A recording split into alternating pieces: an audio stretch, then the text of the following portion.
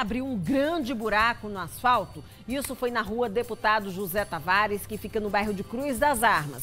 Pois bem, a Cagepa prometeu consertar e cumpriu, ó, essa promessa. Então nós voltamos lá hoje de manhã para mostrar o resultado, para ver como é que estava a situação. Everton Correia.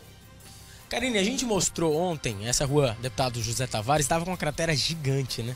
Pessoal estava com dificuldade, hoje moto, carro já está passando com mais tranquilidade, isso porque os técnicos da Cagep estiveram aqui às 8 horas da noite de ontem, conseguiram resolver o problema. Problema resolvido então, né? Rapaz, o problema está resolvido, agora é o que fizeram aí, tá vendo aí? Isso aí não é serviço que eles façam não, rapaz, não bota nenhum asfalto nem nada, a Cagep quando vem já tudo esculambadazinho, tá vendo? Pois é, a gente espera então que o asfalto seja colocado. Eles tamparam, eles colocaram uma parte ali de calçamento, organizaram, não tem mais vazamento, o buraco foi, foi resolvido, né? Mas agora os moradores querem que eles façam a limpeza dali e que coloquem o asfalto do jeito que era. Afinal, essa é uma das avenidas, uma das ruas mais importantes que fazem a ligação do Cristo Redentor com o bairro de Cruz das Armas, onde a gente está nesse momento. Karine, volto com você.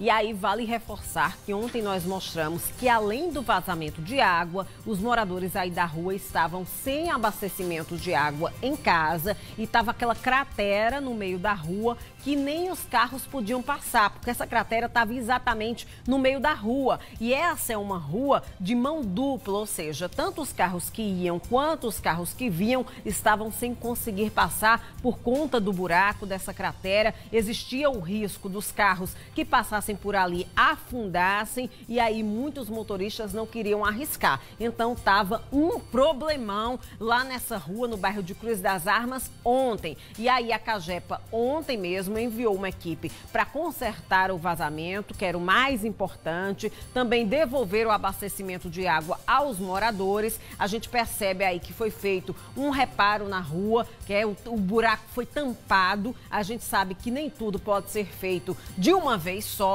Então a Cagepa primeiro fez o conserto do vazamento, é, consertou também o buraco e logo na sequência certamente eles vão repor o asfalto dessa rua. É porque tudo não dá para ser feito num dia só, né, gente? Mas o problema maior já foi resolvido. Agora, mudando de assunto, amanhã.